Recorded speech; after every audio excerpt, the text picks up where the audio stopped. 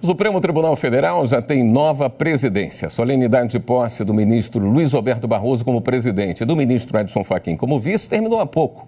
Vamos falar ao vivo com a repórter Marta Ferreira, que acompanhou toda a cerimônia. Oi, Marta. Boa noite para você.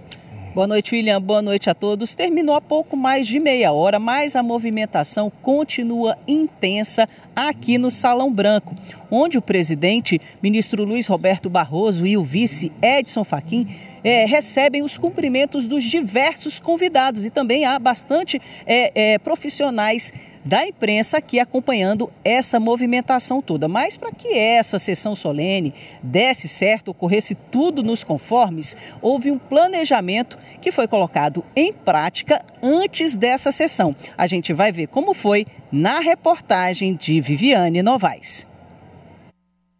Dezenas de policiais faziam a segurança do prédio e contavam com a ajuda de cães bem treinados para o serviço. Nós temos o, o Axel, que é um pastor alemão, ele é de proteção.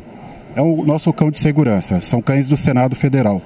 E nós temos também os cães de detecção, que eles procuram pelo faro armas e explosivos. As áreas de estacionamento no entorno do prédio foram fechadas no começo do dia. Já o expediente na corte foi até uma hora da tarde. E a movimentação para a posse começou logo em seguida. Cinco detectores de metal foram montados nas entradas de acesso.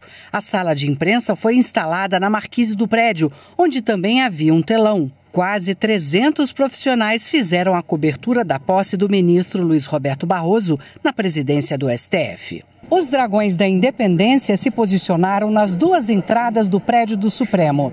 Eles fizeram a recepção aos convidados. Esta é uma tradição na posse de presidente, vice-presidente e ministros do STF. Para a cerimônia, mil convidados confirmaram presença. O plenário, que só tem 250 lugares, ganhou cadeiras extras.